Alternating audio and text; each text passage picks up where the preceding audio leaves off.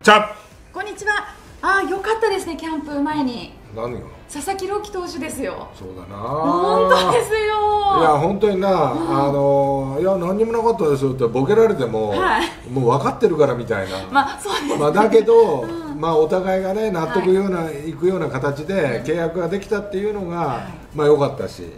まあ、あとは大人の対応でね、はい色つけて言ってるかもわかんないけども、うんうんうんだけどまあそれも良かったと。はい。まあまあどこら辺での話し合いのね折り合いがついたのかわからないけども、はいどうまあ、佐々木の方が折れたんだろうね。まあ、あの一貫してまあ代理人を通じてのずっと交渉はいはい。をしてたということで、でまあ、一応、まあこんえー、とポスティングとかそういうメジャーへの挑戦ということに関しての具体的なことはとりあえずは控えてとかもちろん、ねまあね。今目の前にあるしまあまあでもさ言言った方が良かったと思うけどね俺は。あ逆にもう知ってることだいからみんなやいやそれで、はい。い、やまああの納得してもらったと、いう方がなんかすっきり収まったけどね、ただどの部分でなそのなんだろうお折り合いがついたまあ、のか例えば今年何勝以上したら、まあ、15勝以上したらじゃあそれを認めるとかさ、い。まあその条件を出したかもわからないし、んいや25歳までうん。じゃあ頑張りますと。はい。いうようなことを言った側も可能性もあるし、これはまあ分からないけどねまたオフになってみないと、はいそうなんですよね。そうそう分かんないけども、まあ、今年はねまあまあすっきりした形で、まあ、できるんだったら何よりだったなっていうふうには思うよね。そうですよね、はい。で今オフにそのメジャーへの例えば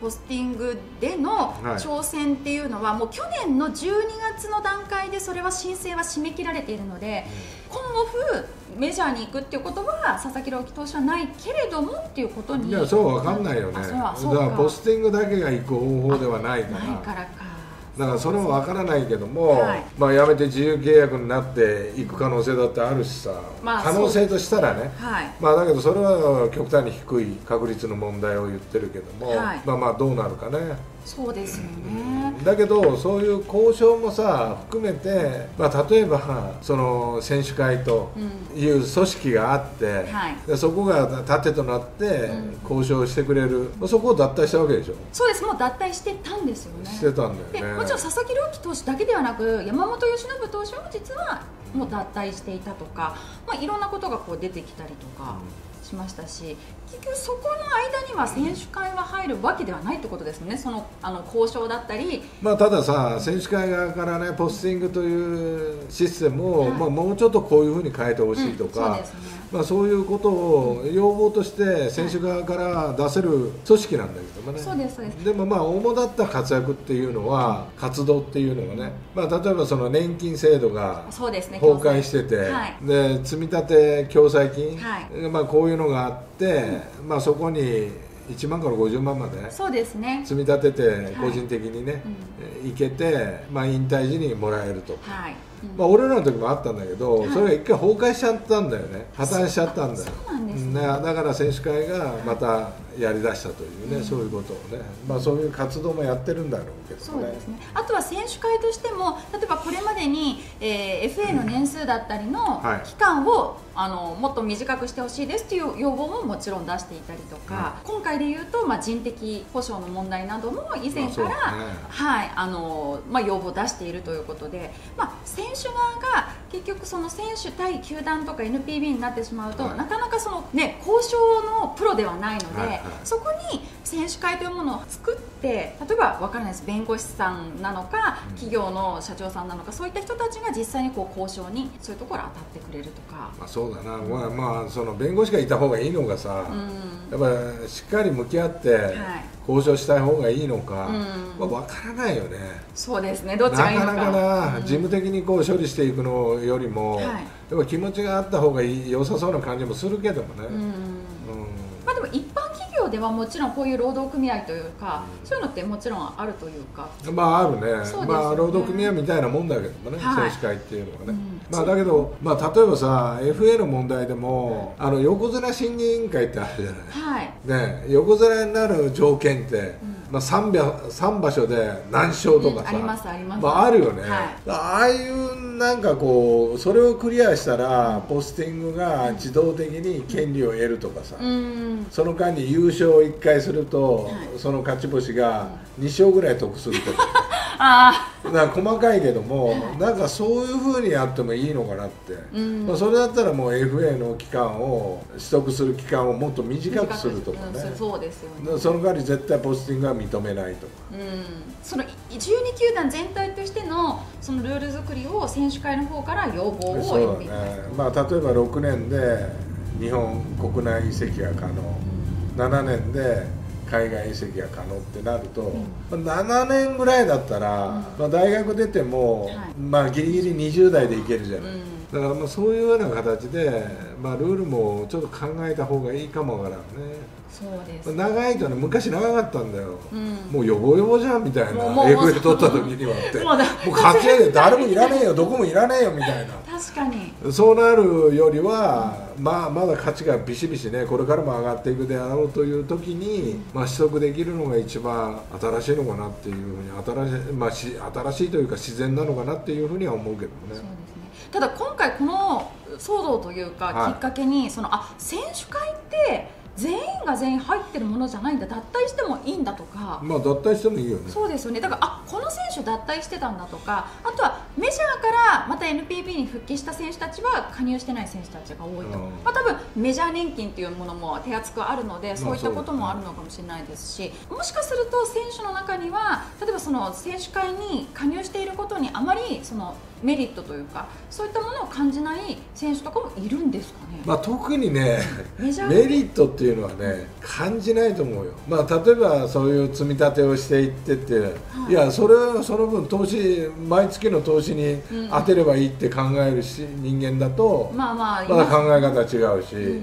じゃあ FA とかの導入をした時にでも、辞めた人がいるけども、はい。選手会をね、だけどその FA が使えないかっていうと使えるから。そうですね。だから別にメリットっていうメリットっていうのは感じないよね、だからあの全員が全員入らなきゃいけないっていうマストなことでもないですし、ましてや特に今の時代っていうのはさ、みんなでスクラム組んでっていうよりも、うん。自分の考え方っていうのはしっかり持ってるじゃない、うん。で代理人もついてるしさ、い。まあ、そうしたら、まあ、入らなくてもいいのかなとは思う瞬間がある。瞬間がある。瞬間はああー。ただどういった活動をしているかというと例えば例年ですと7月の休園オールスター前とオフの12月に定例総会を開催して各球団の代表選手が、ま、意見交換をして例えばもっとこういうふうにしてほしい選手の立場からこういうふうにしてほしいという意見交換をしていると。で特に去年の12月は FA に代わる新制度の創設であったりとかあとハラスメント行為防止策などについて話し合われたと。多分こういったところで選手から出た意見をその選手会のトップの人たちがまとめて、まあ、NPB の方に意見書というか要望書っていうのを提出するみたいな。多分ね、い。俺らの時ってさ、オフ12球団運動会だとか歌合戦だとかさ ありましたもういねろいろあったんだよ。各局持ってたんだよ、はい。それはやっぱ選手会の運営だったと思うんだよね。あ NPB の管轄ではもちろんなくて。うん。球団内で選手会がそのテレビ局と交渉してみたいな。だからよくあったもん。選手会側から、もっといい選手出せんのか？みたいな。やっぱり一軍半とかいうよりもまあまあ名前が通ってる一軍選手の方がいいじゃない、うん。テレビ局とすると、はい。いやこれもうちょっと出せんのか？みたいな。うん。だからお前選手会長の時なんか言ったことあるもん多分。多分多分そうだったと思うけどあのみんなちょっと協力してくれと、はい。まあ、こういうことで要請があるしこういうイベントが今年はある。だからまあそれなりの人間は出していきたいから頼むよみたいな、俺は歌は歌わないけど走ることはできるみたいな。そんなそうそういうのいやいやまあまあまあそれは例えばね、は例えばそういうことがあったといううんね、うん。だから今はもうないからなそういうこともそんなもう少数だからさ。そうですね。まあ、入ってる意味っていうのは確かに、まあ、感じない人はいるだろうなとは思うけどもね。そうですよね。中でねどういうふうなことがなされてっていうのは、まあ、こちら側サイドからするとあまり何をねしてるのかがわからないっていうのもあったので、まあ、今回クローズアップされたのでまあ個人の自由でいいのかなとは思うけどもね、まあうんただその、まあ、仮に昔ストがあったように、はい。ストになった時にはなんかみんながねスクラムを組めるような形で、まあ、やっていてほしいなと思うけどもね。そうですね。足並みがねそこで揃わないってなってしまってる意味が前らバラバラじゃないかみたいな、ことじゃなくて足並みが揃うような形を、まあ、やっぱ取っとかないと起きない方が一番いいんだろうけどもさ起きた時のためにね。そうですよね。ただその事務、ね、あの選手会のトップの方とかはやっぱり今回の佐々木朗希投手がその脱退していた加入あ辞めていたってことに関してやっぱ寂しいとか悲しいなっていう。まあまあねちょっとびっくりしたけどもね、ああそうなんだと思ったけど。ただこれをこう芋づるで方式でどんどんどんどん選手がじゃあ僕も辞めます僕も辞めますいやだからだからメリットだよ。メリットっていうか、こう安心感とか、はい。まあ、そういうものが感じられるんだったらそのままでもいいし、うん。芋づる式で行くっていうのは、何のメリットもなく、あはい。うん。えいやそれだったらこっちのね投資の方がいいよくないみたいな、なってくると意味がなくなってくるからさ。ね。